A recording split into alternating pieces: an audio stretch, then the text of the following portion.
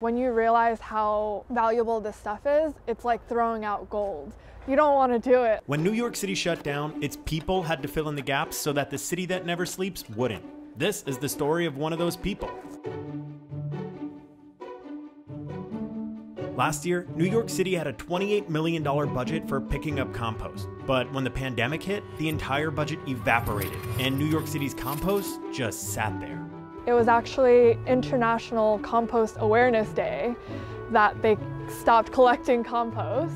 Vivian was a full time architect who had never even composted before, but when she heard about this, she got curious. Composting is basically when organic waste gets broken down into this nutrient dense material. People who farm, they call compost black gold. In New York City, over one third of our residential waste is organic. When organic material ends up in landfill, it produces methane gas, and methane gas is three to five times more harmful than carbon. Meanwhile, Vivian was working from home, suddenly aware of how much trash she was making just by living. I'm just thinking about all the scraps that are produced and where is that going to go? That's that's how it all began is when I got really no answers and like nobody was really doing anything, I just said like I'm just going to do it. So whatever time I could that I wasn't working my architecture job, I would literally stay up all night researching previous composting operations, how other cities compost, how other countries compost. She studied composting, she studied agriculture, she studied farming. That's when she had her big breakthrough. At the time, these local farms are also struggling because of COVID and it's hard for them to get their produce to people. What I landed on was, why don't I start a collection and bring it to these local farms?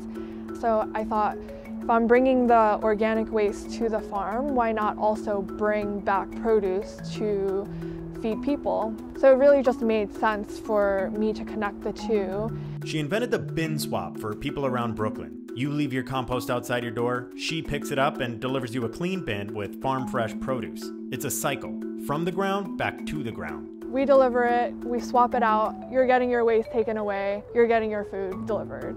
And it's easy as that. Slowly just like the word got out and people just kept sharing it with their networks and like their networks. Pretty soon, Groundcycle was featured by the New York Times, which led to over 150 signups in a day. People were just as excited to have an option to compost their trash as Vivian was. We collect over 2,000 pounds of compost every single week. As of right now, we've collected 27,000 pounds of compost. And most of that trash goes to Vivian's backyard in Brooklyn, where she sorts through it all by hand, plucking out anything that doesn't belong. It's a seven day a week, non-stop job. I quit my job, left my architecture career to deal with trash. But Vivian would say someone's got to do it. I think sometimes when we, when we hear numbers, it doesn't really click. But for me, it really clicks because I've touched most of that material with my hands, right?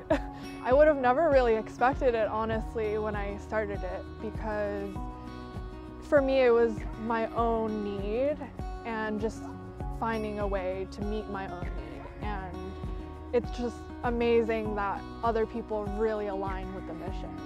I'm Vivian, this is Groundcycle, rally on.